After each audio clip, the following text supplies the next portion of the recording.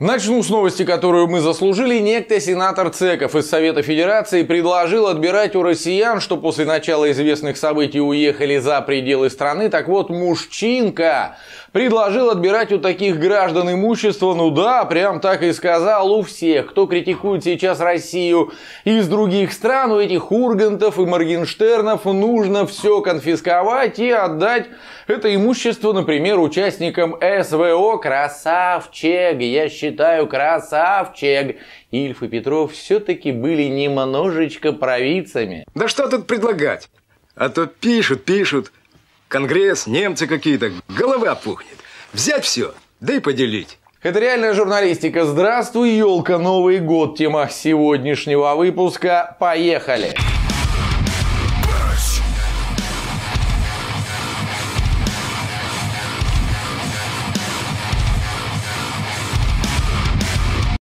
Хотя, если серьезно, я не очень понимаю, как Цеков свою бредовую идею осуществить собирается. Ну просто я-то, я ж дебил, я рассуждаю с точки зрения законности ситуации, вот и хочу понять, по какому закону неадекватный товарищ Ц собирается отжимать у людей их собственность, на основании чего вообще? Ну, давайте на пальцах. Очевидно, что в данном случае понадобится какое-то решение суда, так или нет, даже в российских реалиях, но оно понадобится. И что же в этом решении должно быть написано? Суд постановил конфисковать у Васи Кукарекина квартиру, машину, бизнес, потому что Вася Кукарекин, находясь в Германии, позволил себе критику в адрес депутата Цекова, считающего себя не больше, не меньше Россией, так что ли? Ты втираешь мне какую-то дичь. К слову, вот он и меня тоже умиляет вот это вот ставшая уже традиционной подмена понятия, они критикуют Россию, ну что за вранье? Полш... Давайте честно, у каждой проблемы есть фамилия, имя и отчество. Это не я придумал, так было всегда. Критика, которую слышу я, например, от тех же уехавших, она каждый раз касается конкретных людей, конкретных должностных лиц, чиновников, депутатов, нерадивых или там вороватых представителей бизнеса, наконец, причем тут Россия или вот этот вот Цепов еще раз, которому только что пенделя отвесил Россия себя возомнил. Так чувачок здорово ошибается, он всего лишь слуга народа. Сенатор от маленького Крыма, представляющий в том Совете Федерации интересы жителей своего региона, и все. Не нефть и газ наше преимущество, как вы видите. И нефть и газ могут падать в цене. Наше преимущество Путин, и мы его должны защитить. Спасибо. Какое Ослепительное чувство собственной важности. А, или вот это имелось в виду, так и здесь я вас расстрою, дорогие ура-патриоты. Путин это тоже не вся Россия. Кто забыл, я напомню, у нас президент избирается прямым голосованием на определенный срок. 6 лет сейчас срок президентских полномочий составляет. Президент это не царь. Да, это высшее должностное лицо, но на лимитированный период времени. И это лицо, как и в случае с Цеповым представляет интересы своих избирателей. По итогам выборов 2018 года Владимир Владимирович набрал 56 миллионов голосов. Это действительно рекорд за все время пребывания Путина у власти, ну и Такие рекордные цифры – это даже не половина россиян, а всего лишь чуть больше трети. В России 145,5 миллионов граждан насчитали в ходе переписи. Напоминаю, берите калькуляторы вперед. Я всегда строго придерживался, придерживался и придерживаюсь Конституции Российской Федерации. Конституция, в Конституции ясно прописано не более двух сроков подряд.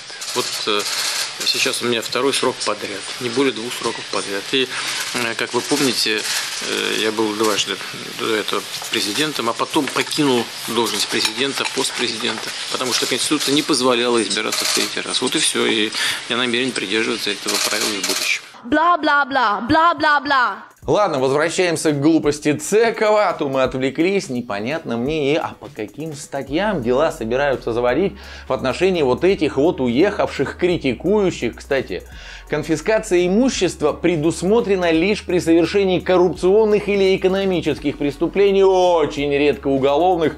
Да и то там все непросто, во внимание принимаются размер ущерба и бла-бла-бла, однако похоже. Сенатору Пустомели на это плевать, чувак, видимо, в депутат солдат и из гопников пришел, ага, из тех, что в 90-е гоняли в китайских спортивных костюмах и, э, слышь, куртку сюда дай, она мне нравится. Ним признаю, да. Кинули мы этих лохов. Кинули и не жалеем. Да вы посмотрите на них, их не кинуть, себя обокрасть. И про законы военного времени мне тоже петь не надо, любимый фуфел пропагандистов и ватников. Мы в состоянии священной войны, поэтому ты либо со страной, либо против. Я не знаю, ничего ни о какой войне не слышал. Кто ее объявлял, покажите мне того человека пальцем. Назовите фамилию объявившего дату, когда такое объявление было сделано. Ну никто же не может этого сделать. Почему? Да потому что по факту российские войска в данный момент проводят спецоперацию операцию, о начале которой 24 февраля 2022 года было объявлено Владимиром Путиным, других водных по сей день не поступало. Поэтому, дорогие азетики, заканчивайте пургу нести и людей обманывать. Война какая-то. Законы военного времени со шмурдяком, что ли, перебрали двумя годами ранее? В соответствии со статьей 51 части 7 Устава ООН санкции Совета Федерации России и во исполнение ратифицированных Федеральным собранием 22 февраля сего года договоров о дружбе и взаимопомощи с Донецкой Народной Республикой и Луганской Народной Республикой мною принято решение о проведении специальной военной операции. Мною принято решение о проведении специальной военной операции. Мы в дерьме! Впрочем, печалит-то меня другое на самом деле. Печалит меня, что шариковые эти ватники, зетики, прочие безмозглые существа данный беспредел одобряют. Вот такие предложения взять все, да и поделить не понимают кастрюли головые, что их-то оно также коснется. Однажды мы это уже проходили, не мы, слава богу, но страна наша проходила. Голод 20-х годов, там было причудливое, очень сложное переплетение сразу нескольких факторов, которые в совокупности привели вот именно к таким драматическим последствиям. Э, это, во-первых, истощение страны, экономики страны, вообще хозяйственное истощение России в результате Первой мировой войны и последовавшей за ней гражданской войны.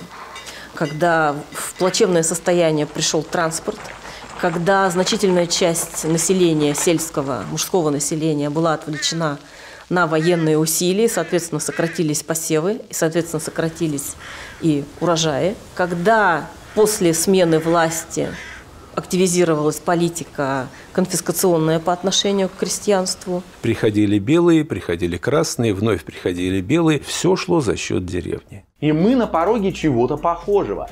Да, поначалу имущество действительно начнут отбирать у Моргенштернов и Ургантов, а вот когда все это встанет на поток, не переживай, дорогой ватник, твою машину, твою дачу, твою квартиру тоже отожмут под тем же самым соусом, что интересно. Ну, давайте снова на пальцах попробуем представить. Купил, например, местный чинуша пару квартирешек у вас на лестничной площадке, затем расселил твоих соседей-алкашей с третьей, а тут ты вроде не бухарик, но со своей двушкой ты ему вообще не в кассу. Он же весь этаж хочет, на кой ляд ему ты там, или мать старушка твоя. Запугать, конечно, можно, заставить тебя эту двушку продать в конце концов, но зачем? Если есть прекрасная бесплатная схема, вот о чем мы говорим уже несколько минут, не проще ли чинуши будет написать на тебя кляузу, мол, гражданин такой-то ругает Владимира Владимировича почем зря вообще государственный устой хает, ага. А еще я слышал, за границу сбежать собирается. Как думаешь, кому поверят? А то, что ты сторонник ВВП, тебе вряд ли поможет. Пинка под зад и гуляй, Вася. Сегодня были арестованы 16 участников банды черных риэлторов, которая отличалась особой жестокостью. Более пяти лет преступники охотились за квартирами одиноких москвичей. Обманом вынуждали подписывать документы на недвижимость, после чего вывозили в Тверскую область и зверски убивали. Все детали, а также бывшие адреса своих жертв раскрыл главарь банды. Ну на. Отец! Да вот же вот! Даже когда закон еще худо-бедно работал в нашей стране, даже в те прекрасные времена мы с вами наблюдали бесконечные суды над так называемыми черными риэлторами и продолжаем. А ведь те черные риэлторы это не просто банды из каких-то уличных отморозков, это хорошо организованные преступные сообщества со связями в высоких кабинетах. Ну давайте вообще все тормоза поубираем, пойдем на поводу у бестолковых цековых. Только потом не жалуйтесь и виноватого, когда прижмет. искать идите к зеркалу. Мы привыкли э, удовлетворяться тем, что имеем. А Запад, он больше, вот у них комфорт, там, то все. А мы, главное, сыты, обуты, одеты мало-мало. А богатство, как бы, ну, нам, значит, э, так удобнее. А Европе так удобнее. Им обидно, что мы так шикарно живем в этой Европе. Они завидуют нам. Впрочем, ничего нового. А вообще, конечно, нет. Ну, давайте все-таки подведем итоги года какие-то уходящего. Или правильнее будет сказать сразу трех последних лет, потому что к дню сегодняшнему мы как общество шли с начала пандемии потихонечку оскотинивались. Все больше и больше теряли человеческий облик. В этом нам очень здорово помогали пропагандисты. Ну, вспомните хотя бы разделение на вакцинированных и антиваксеров. Последних как только не оскорбляли. Как только не унижали, причем в СМИ, журналисты, чиновники, депутаты, сосед на соседа ведь готов был пойти из-за разногласий в вопросах вирусологии, лечения модной болезни. Оказалось, это была всего лишь разминка. Окончательно человечность мы потеряли в 22-м, когда абсолютно все маски оказались сброшенными в, прямом и в переносном смысле. Мы перестали стесняться хамства. А у нас поселилась вселенская ненависть. Быдло повылезало изо всех щелей. Такой гнойник вскрылся. Никто, по-моему, даже не догадывался, сколько вокруг нас живет моральных уродов, беспринципных, озлобленных, мерзких и мелких людишек. Где, где, где твоя камера? Вот смотри, вот, Вот она, твоя смотри. камера, да? Да? Ну? Ну и чё? Я тебе скажу, что ты девочка. На эту камеру я тебе скажу. А знаешь, почему ты девочка? А? Ну? Потому что ты нахуй, ты никуда нахуй не пошел, рот. А мы пошли, отсюда. воевать, сука, за Отойдите тебя. отсюда. Да пошел ты отсюда. Пошел ты нахуй. Понял? отсюда. Я тебе бошку разобью. Отойди отсюда. За меня не цепляют.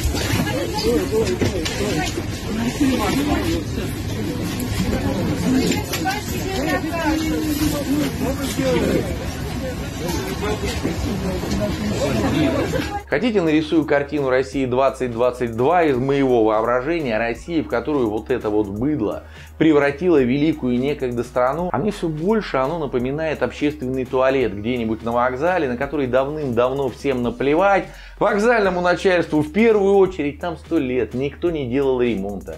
Там даже не убираются уже бог его знает сколько времени сантехника стала желто-коричневой.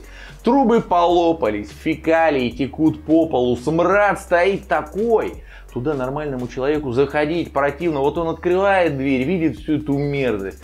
Потом его догоняет зловонный запах, и человек думает, нет, я лучше потерплю. Фу, как некультурно. Меж тем вокзальные бомжи данные сортиры даже облюбовали. Бомжи, да, я сказал, нет, не бомжи.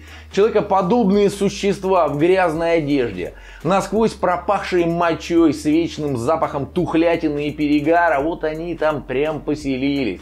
Раньше погреться заходили и вели себя как можно менее вызывающе, ну потому что нормальные люди в туалет заходили, хозяин у него какой-то был. А теперь в нем остались только они. Свои, скажем так, вот эти вот человекоподобные существа. И многие аж крылья распушили, борзеть начали, мол, мы тут хозяева, захотим весь мир нагнем. Их, кстати, вдохновляет то, что обычные люди перестали в эту помойку заглядывать. Ага, а еще они придумали себе легенду. Эти к нам не заходят, потому что они нас боятся. Да нет, хочется сказать ущербным, потому что противно. От этого всего противно. К вам прикасаться противно, посмотрите на себя. Разве может человек так опуститься? А впрочем, не буду вам портить новогоднее настроение, его и так немного осталось посему, друзья, с Новым годом. Не слушайте дураков, которые обязательно станут лопотать, мол, ой, нечего праздновать, это не так. Праздники люди придумали для того, чтобы хоть немного отвлечься от повседневной грязи, попробовать перезагрузиться, что ли, вот этого я вам и желаю, отвлечься и перезагрузиться. Все. Это была реальная журналистика, увидимся уже в 2023. Удачи вам, любви и терпения. Все, пока. Пока.